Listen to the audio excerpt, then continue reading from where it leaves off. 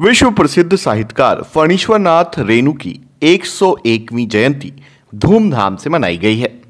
अररिया जिला प्रशासन ने रेणु महोत्सव के रूप में इसे मनाया है। इस मौके पर रेणु के गाँव औराही हिंगना में देश के जाने माने लेखक और साहित्यकार जुटे। रेणु की समाधि स्थल सहित उत्कर्मित मध्य विद्यालय और सिमराहा रेणु चौक के साथ सदर थाना चौक स्थित रेणु कुंज में लगी प्रतिमा पर माल्यार्पण किया गया।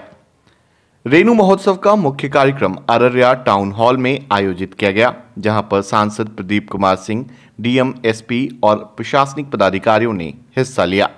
इस कार्यक्रम में साहित्यकारों ने अपने प्रिय लेखक की याद में प्रस्तुति दी है।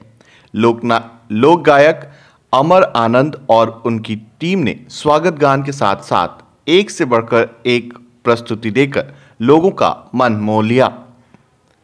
रेणु महोत्सव में आए कलमकारों ने उनकी रचना को लेकर साहित्यिक परिचर्चा भी की है, जिसमें सीमांचल के साहित्यकारों और लेखकों ने विशेष रूप से भाग लिया। जिला प्रशासन की ओर से अलग अलग स्कूलों में रेणु महोत्सव आयोजित किए गए।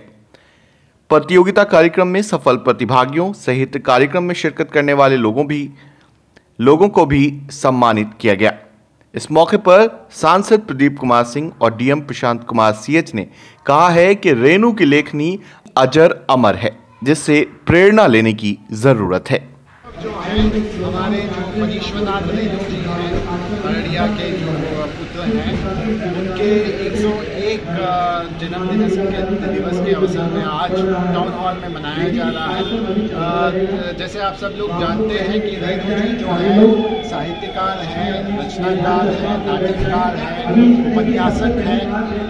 आज का जो कार्यक्रम है, उसमें हम लोग उनके जितने भी जो जीवन के जो घटनाएँ हैं, उसमें हम लोग परिचर्चा करेंगे, उनके उपन्यास में और उनके साहित्य पे परिचर्चा करेंगे। उसके साथ साथ, क्योंकि उनके काफ़ी सारे जो स्क्रिप्ट्स जो बनी हैं, उसके आधार पर मूवीज़ भी सिनेमा भी बनी हुई हैं। उनके सिनेमा के जो गीत हैं, उसको भी प्रस्तुत करेंगे। मेरा आपके माध्यम से अररिया जिला के सभी संपूर्ण जिला वासियों को परेश्वरनाथ के जन्मदिन का हार्दिक शुक्रिया आज एक सौ इक्कीस, एक साल हुआ।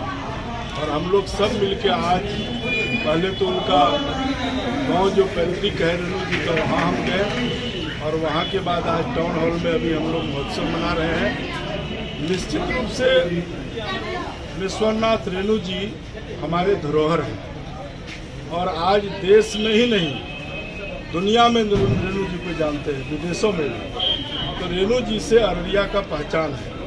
क्योंकि रेणु जी जो लिखे भर्ती परी कथा गाँव की बात, इसका आज जापान, अमेरिका जैसे जो टॉप देश अपने आप को करता वो रिसर्च कर रहे हैं। और आज हम लोग रेणु को पाके गौरवान्वित हैं। आज रेणु जी हमारे बीच नहीं है, परंतु रेणु जी का कृति उनकी रचनाएँ हैं। हम सब चाहते हैं कि आज के दिन रेणु महोत्सव के दिन पूरे देशवासियों को, बिहारवासियों को और ख़ास करके अररिया के जनप्रतिनिधि होने के नाते संपूर्ण अररिया के लोगों को मैं यही कहूँगा, जो आने वाला पीढ़ी, जो हमारे नौजवान हैं रेणु जी से प्रेरणा लेना चाहिए। रेणु जी सिर्फ़ साहित्यकार नहीं थे, बल्कि रेणु जी एक स्वतंत्रता सेनानी भी थे।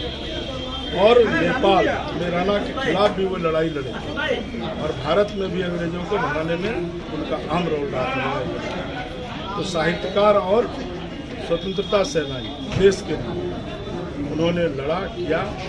इसके लिए पूरे देशवासी हम सब आज रेणु जी को नमन करते हैं और रेणु जी की कृति को आगे बढ़ाएँगे। हम सब इनको लेकर के अपने जीवन में चलेंगे और विकास के काम करेंगे।